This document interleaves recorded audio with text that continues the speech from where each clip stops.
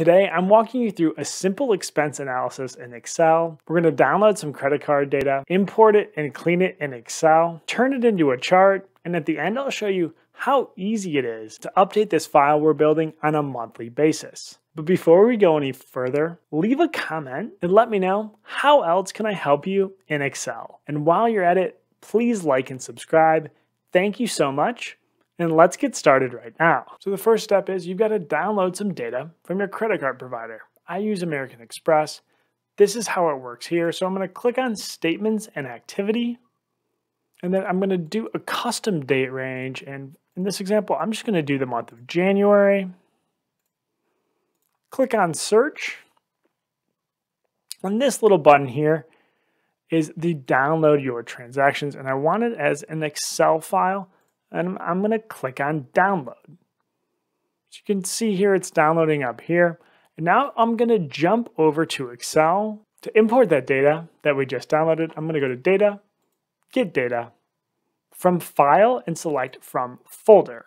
So I put it in this Amex folder here, and I'm just gonna press open. And so this is the file that we're trying to import, the folder, in fact, that we're trying to import. And I'm gonna click transform data. There's a lot of different columns here that Excel's returning. I just need content. I'm gonna press control and select name. And then I'm going to go up here to remove columns and remove the other columns. We do need to add a column. So to do that, I'm going to click add column, custom column, and I'm going to call that import. And then I'm going to enter a custom column formula, which is going to be Excel.Workbook. So when I see that here, I'll press enter to automatically fill it out. Open parentheses, and double click, we want content. So we're gonna populate that there with the double click, close parentheses and click OK. So this looks good. To move ahead, I'm gonna click this drop down here and we only want data. So I'm gonna unselect all these other columns, just select data and click OK. Back to that same drop down, these are the columns in that data set that we just downloaded. Excel's not properly recognizing them, that's okay, so we're gonna just click OK. Here's the data that we just downloaded. And as we make steps, notice that Excel records those steps in the Applied Steps section of Power Query. And every time we add a new file to that folder, it's gonna apply these same steps. There's only a handful of data that I want here. So I'm gonna click on this column, press Control, and click on Description, Control Amount, and then over here, I want this category, control category.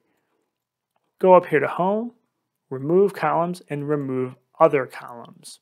So now I've just got those columns that I want in our analysis. And you notice the real column headers don't appear until row seven here. So there's six rows we want to get rid of. To get rid of those, go to remove rows, remove top rows, and enter the amount you want to get rid of and click OK. Likewise, there's 11 rows down here that we want to get rid of, and we can repeat a similar process, remove rows, remove bottom rows, 11 rows as well. This first row here are the column headers that we want to use, and I'm going to click the button that says use first row as column headers. So that populates those headers, that looks good. The last thing that I'm going to do is I don't want to see the payment that I made. So I'm going to click on description and just unselect auto pay payment here and click OK. This data is looking really nice. So I'm going to click close and load to. I'm going to close and load that to a pivot chart and click OK. So I'm going to drag date to the legend. I'm going to drag amount to the values. And I don't want a bar chart. I want a line chart. So I'm going to go up here to format or actually design, change that chart type to a line chart, click OK. And then I think I'm going to need to switch the row and column. And that's more what I'm looking for here, a line chart of my spend by day. Now this looks great, but what about next month when you want to update your simple expense analysis? Well, it's pretty easy. So I'm going to jump back to that folder, that Amex folder, and I've already downloaded the next month's data here. So uh, I'm just going to click on that and make sure to drag it into that Amex folder that we imported using Power Query. Jump back over to Excel, click into your, your pivot table, pivot table analyze, and refresh.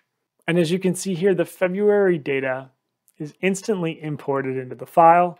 It looks like there's some additional cleanup that we need to do, but we can save that for next time. If you're still here, you might want to take a look at this video where I use Excel to identify recurring subscriptions in your credit card data. Thanks so much, and I'll see you next time.